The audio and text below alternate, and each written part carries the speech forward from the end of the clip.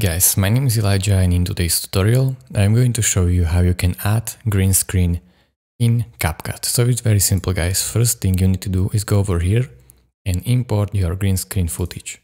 So in my instance it is this one, as you can see it is this fire.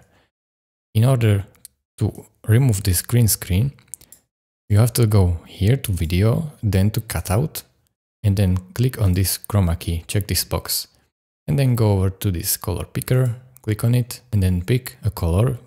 In this instance it is green and then choose a strength with this slider and as you can see the more strength the, the more green it will go away and you can leave a, leave a little bit shadow as well. So more something like this and as you can see now the green is gone. As you can see it is not the best tool but it works most of the time. But CapCut has a better tool.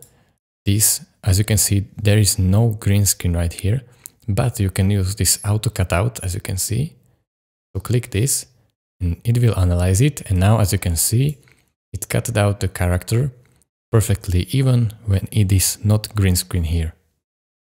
So this feature is really groundbreaking in, Cap in CapCut. So I just wanted to let you know about it. So thank you guys for watching. If this was helpful to you, consider subscribing and liking this video. And I will see you in the next one. Bye.